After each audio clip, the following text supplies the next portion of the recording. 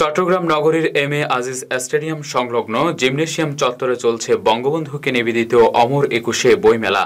বইমেলায় আঠাশে ফেব্রুয়ারি সন্ধ্যায় অনুষ্ঠিত হয়েছে একুশ ও বাংলাদেশের গণমাধ্যম শীর্ষক এক আলোচনা সভা। এতে প্রধান অতিথি ছিলেন প্রিমিয়ার বিশ্ববিদ্যালয়ের উপাচার্য ভাষাবিদ প্রফেসর ডক্টর অনুপম সেন। বিস্তারিত চট্টগ্রাম প্রতিনিধির তথ্যচিত্রে। সংবিধানে আছে এদেশের মালিক জনগণ। আমরা যেভাবে এগোচ্ছি, নিশ্চয়ই দুই হাজার একচল্লিশ সালের অনেক আগেই একটি উন্নত দেশে পরিণত হব। চট্টগ্রাম সিটি কর্পোরেশন আয়োজিত মুজিব বর্ষে বঙ্গবন্ধুকে নিবেদিত অমর একুশে বইমেলার একুশ ও বাংলাদেশের গণমাধ্যম শীর্ষক আলোচনা সভায় প্রধান অতিথির বক্তব্যে এসব কথা বলেন প্রিমিয়ার বিশ্ববিদ্যালয়ের উপাচার্য, ভাষাবিদ প্রফেসর ডক্টর অনুপম সেন।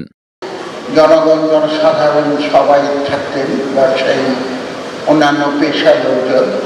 এবং ফোর্থ স্টেট বলা হতো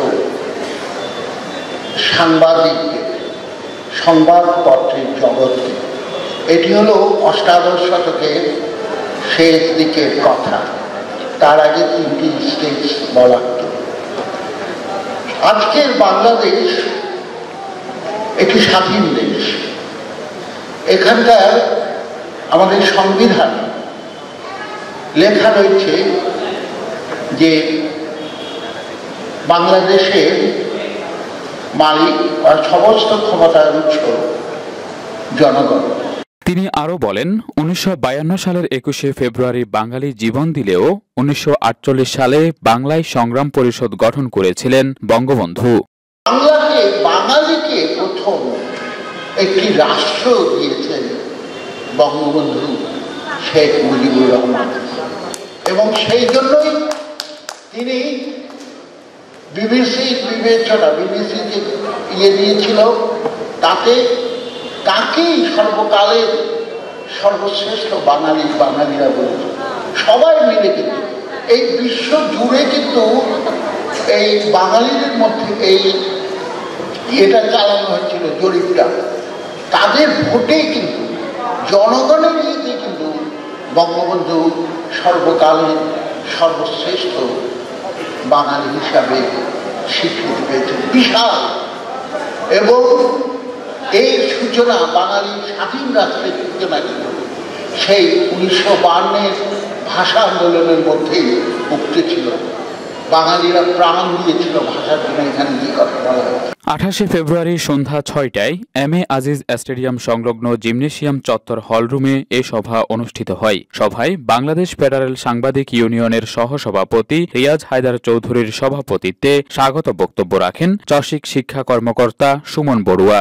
বিশেষ অতিথি হিসেবে উপস্থিত থেকে বক্তব্য রাখেন চট্টগ্রাম প্রেস ক্লাবের সাধারণ সম্পাদক চৌধুরী ফরিদ, চট্টগ্রাম সাংবাদিক ইউনিয়নের সভাপতি মোহাম্মদ আলী, রিপোর্টার্স ফোরামের সাধারণ সম্পাদক আলিউর রহমান, টিভি জার্নালিস্ট অ্যাসোসিয়েশনের সাধারণ সম্পাদক লতিফা আনসারি রুমা। সাংবাদিক চৌধুরী ফরিদ বলেন, আমরা যারা পত্রিকায় কাজ করি, তারা সকলে চেষ্টা করি বাংলা ভাষাকে সহজভাবে উপস্থাপন করার। আমরা যেখানে যাই, সেখানে যেন বাংলা ভাষাকে ভালোভাবে উপস্থাপন করি। বই হলো জ্ঞানের ভাণ্ডার।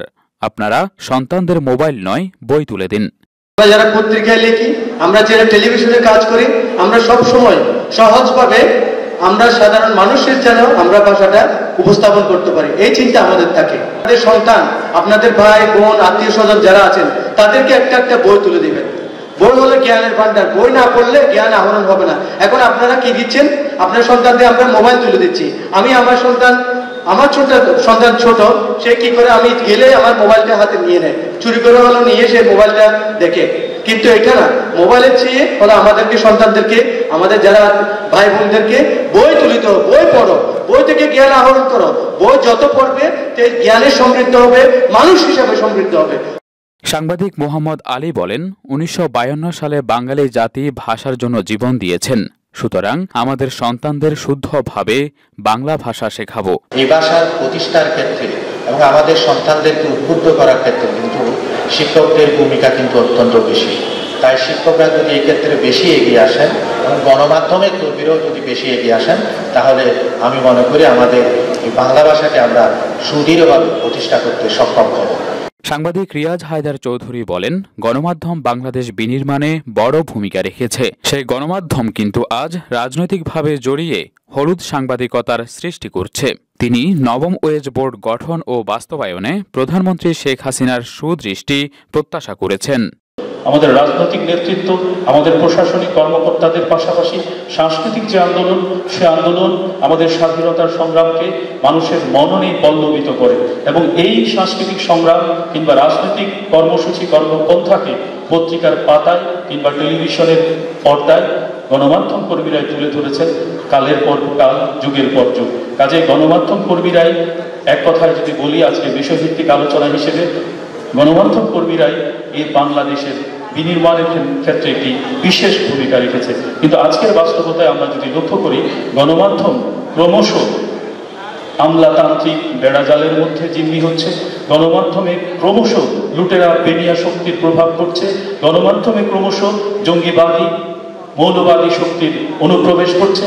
গণমাধ্যমে ক্রমশ সন্ত্রাস মাদক এবং নানা মাত্রিক যে অপকাজ, সে অপকাশের অপকাজের যারা যোগানদাতা মদতদাতা তাদের কালো টাকার অনুপ্রবেশ করছে এবং গণমাধ্যমের মধ্যে ইউরো যে জার্নালিজম, হলুদ সাংবাদিকতা, সেই হলুদ সাংবাদিকতা গণমাধ্যমকে একইভাবে প্রশ্নবিদ্ধ করছে।